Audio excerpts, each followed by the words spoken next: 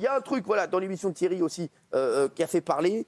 euh, je Ah vous ouais. dis, euh, c'est, euh, il recevait euh, Tristan Reese. C'est une personne transgenre qui a conservé ses organes génitaux féminins et qui se sent comme un homme. Et donc cet homme a ainsi peu accouché d'un garçon qu'il a eu avec son mari, également présent au plateau. Euh, regardez.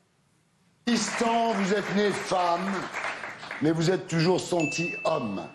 C'est pourquoi, vers l'âge de 20 ans, vous décidez d'entamer un traitement pour devenir un homme. Mais après votre rencontre avec Biff, vous décidez d'arrêter le traitement pour avoir un enfant. Vous devenez alors, pour les médias, l'homme enceinte. Alors, ça a fait beaucoup parler, ça, sur les réseaux sociaux aussi. On a regardé ce passage avec des amis, nous étions choqués parce qu'il pouvait se dire sur le plateau à l'égard du père qui a accouché.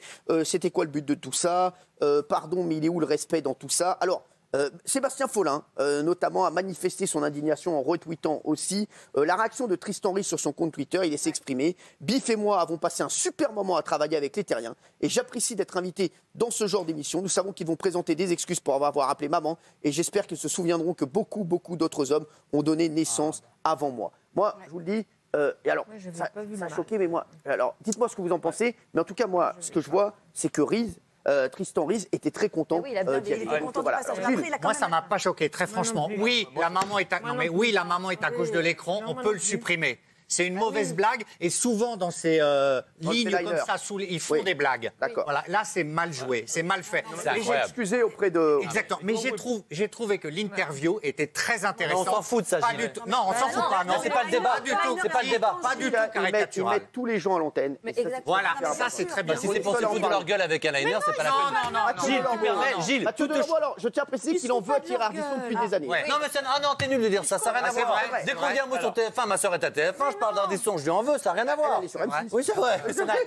Non, C'est lui, qui, c'est lui qui se moque de ça. Alors, non, je dis juste qu'en l'occurrence, puisqu'on parle de Gilles qui, qui se choque de tout ce qui, qui, qui n'a aucun intérêt, et là en revanche, on parle de quelque chose qui est quand même, qui est quand même euh, euh, dur, c'est changer de sexe, c'est quelque chose de très violent pour une Mais personne. il n'a jamais dit le contraire. Non, mais, mais- mais peu importe ce que je suis en train de te dire. C'est quelqu'un qui a quand même souffert, c'est quelqu'un qui vient témoigner. S'il vient témoigner de cette cause-là pour qu'on se foute de sa gueule à l'écran avec une petite Mais- vanne mais- perfide, mais- encore une mais fois. Un que moment. Oui, Mais- et derrière, il dit qu'il a demandé des excuses. Mais non, qu'il a fait un Et bon oui, moment. la phrase elle est malheureuse, mais pas l'interview, Mathieu. Mais on vous qui êtes pas malheureuse. La phrase, elle est très malheureuse parce que Ah la oui. phrase, elle est de mauvais goût. Mais Ça prouve que la personne qui l'a mise, effectivement, voulait faire une petite vanne pour se foutre de leur gueule. Voilà. Ils insultent toute une communauté. Non, Pardon. mais- Mais non. Bah si, bah si, pardon les réacs. Pardon Mais les réacs. arrête, dis pas réac, Mathieu. arrête de dire des trucs comme ça.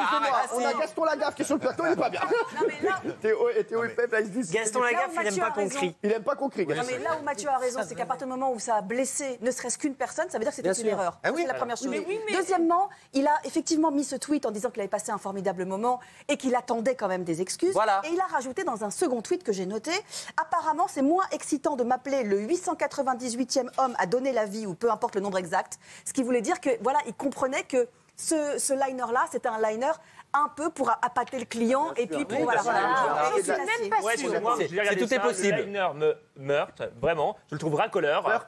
Heurte, oui, bien sûr, et je le trouve racoleur. Euh, biologiquement, oui, et effectivement, euh, c'est, il est considéré comme une femme, mais en termes d'identité, c'est tout le contraire qu'il dit. Il déclare Voilà. Je n'ai jamais été une femme enceinte, j'avais l'impression d'être un homme enceint. Donc, oui, je trouve que ça bafoue un petit peu cette personne. C'est dommage parce qu'il Il se sent homme, mais la- vous, Non, mais vous, il se sent homme, mais la production refuse, Isabelle. en revanche. Moi, Mais non. Alors, Mais si. Moi, je- honnêtement, j'en ai marre. J'en ai marre. Je réclame le droit à une relative indulgence. Oui. la phrase était maladroite, peut-être. Voilà, mais alors, euh, en faire, mais tout un pataquès, et du coup, nier tout l'intérêt du sujet et ne plus retenir que ça, je trouve ça assez dégueu. Mais parce que c'est hyper important, tout est dans la phrase. Ça veut dire que justement dans la phrase, on ne considère pas le reste de l'interview. Mais toi, rien ne te choque, c'est fascinant quand même. Alors, non, mais ça va Alors, pas. regardez, regardez. Alors, pas choqué à 62%, Oui. Voilà. choqué à 38%. Ils sont Mais plutôt d'accord logique. Ah oui. avec l'ensemble des Mais c'est pas si choquant que ça non plus. Alors,